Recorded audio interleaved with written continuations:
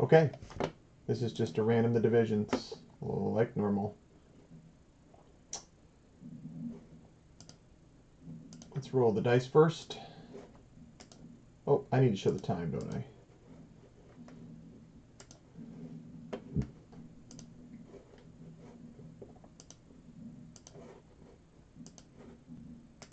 Time is 8.52.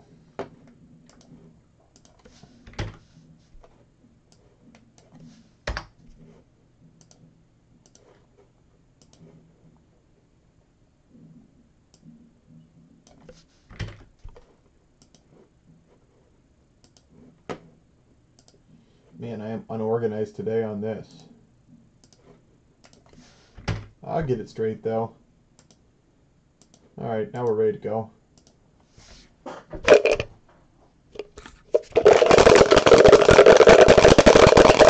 We're going to do what we normally do. I'm going to roll the die. We're going to random the six names. I'm going to roll the dice again. And we'll random the six divisions and then match them up. Same way we've always done it. 12 times on the random names. Barry in the one spot, Walter in the two, Jerry in the three, Kevin in the four, Doug in the five, Chad in the six. We're going to click this 12 times and we'll have a new order.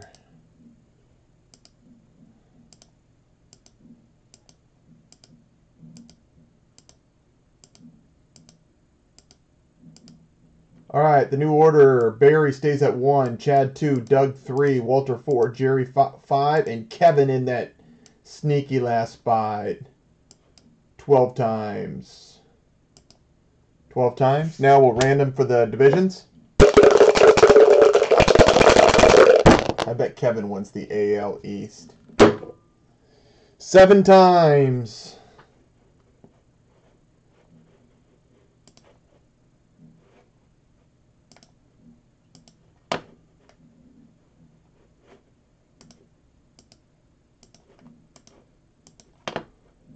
Seven times on the second one. AL East, Central West. And then NL the same. We're going to click this seven times. And then match them up. Spot one with spot one. Spot two with spot two. And so forth. I think everybody might be in the room tonight except for Chad. I think Chad's gone tonight. Five.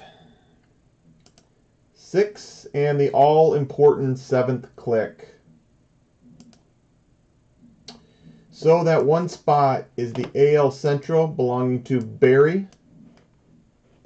Chad Rhodes has the two spot and got himself the AL East. Doug King in that three spot has NL Central. Feel like that. Walter in the four spot has the NL West, which is the top division dollar wise. Jerry in the five spot has NL East. Got his team at least there. And Kevin in the last spot has the wrong AL division for him. Seven times. Seven times.